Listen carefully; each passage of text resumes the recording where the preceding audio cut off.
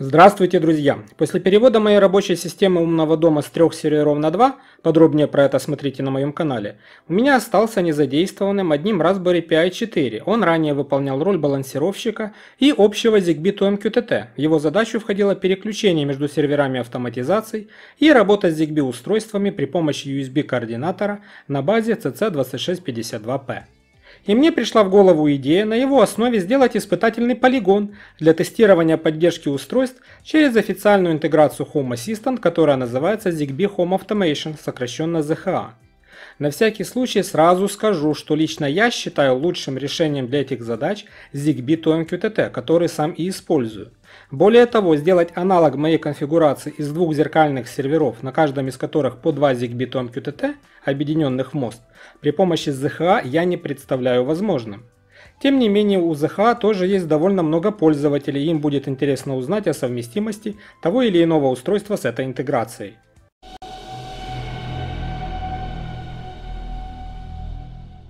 Для полной чистоты эксперимента система была установлена с нуля. Все по шагам моего видео Supervised Home Assistant, легкая установка на RSPOS 64. Единственное, что в последнее время я не ставлю портейнер. Актуальная на дату этого видео версия Home Assistant 2022.8. Это легко увидеть по наличию интеграции Bluetooth, которая появилась именно с этой версией. Установленный в USB порт ZigBee Stick, кстати для Raspberry Pi 4 его нужно подключать через удлинитель, должен определиться и предложить установку ZigBee Home Automation. Но так как я подключил его немного позже, то интеграцию пришлось выбирать вручную через меню поиска. Разницы как ставить нет. Интеграция запрашивает на каком порту находится стик. Для Raspberry Pi 4 с CC2652P это USB 0, точно такой же, как и был на ZigBee to MQTT. Вместо одного устройства интеграция нашла почему-то два, но главное, что стик определился корректно. Вот неизвестно устройство без объектов, что это такое непонятно, поэтому я просто удалил его, не вдаваясь в подробности. Оно ни на что не влияло.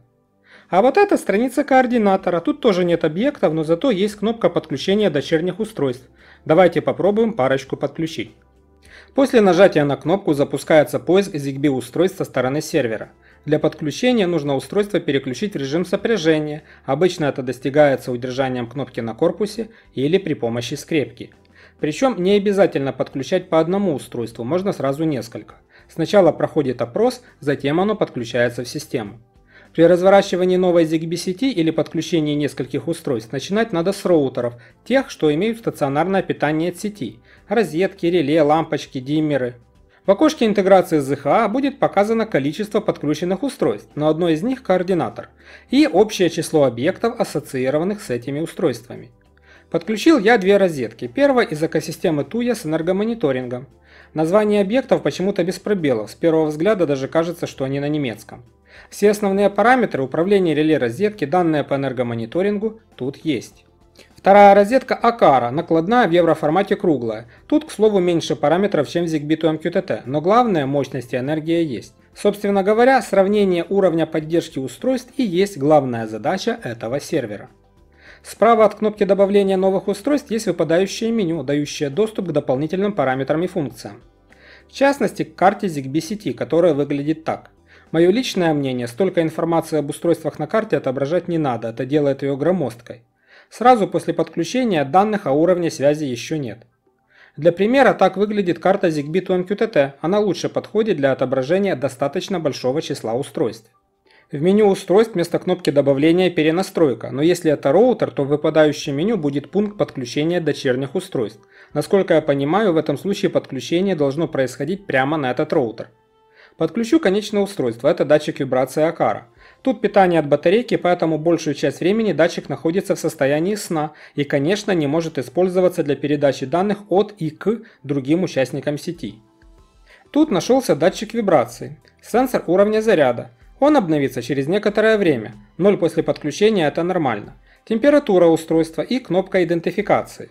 Кнопка, которая появилась после обновления 2022.2, вызывает мерцание диода на устройстве, что помогает его найти среди одинаковых на розетке Акара работает. В левом столбце в раскрывающемся меню есть подробная информация об устройстве, а справа в столбце истории видно, что кроме изменения состояния датчика вибрации, тут еще есть ряд различных событий.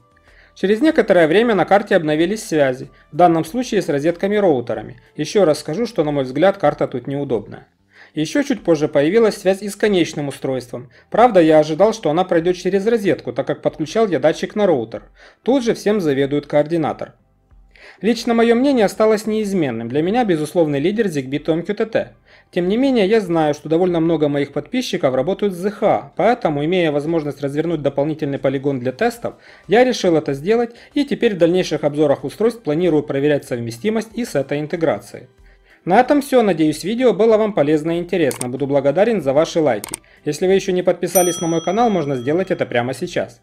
Если вам нравятся мои видео, поддержите мой канал, став его спонсором. Кроме этого, есть и другие способы разовой и периодической материальной помощи, ссылку вы найдете в описании. Также я веду и телеграм-канал, в котором публикую полезную информацию, опросы и ссылки на устройство умного дома, буду рад, если вы присоединитесь к нему. В описании под видео вы найдете полезные ссылки на все устройства, показанные в обзоре, на интересные ресурсы, а также на те видео, которые либо упоминаются, либо пересекаются с темой этого. До новых встреч, всем мира!